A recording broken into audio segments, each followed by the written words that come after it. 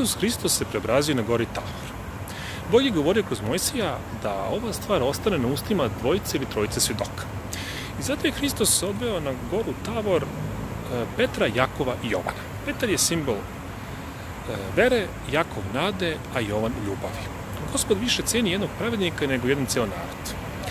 Zato je Gospod e, uslišio molitvu i Mojsija i svetog Ilije i nije se raznevio na ceo izraelski narod. Takođe je i sveti Prokopije izmolio od gospoda da ne uništi grad Ustrug.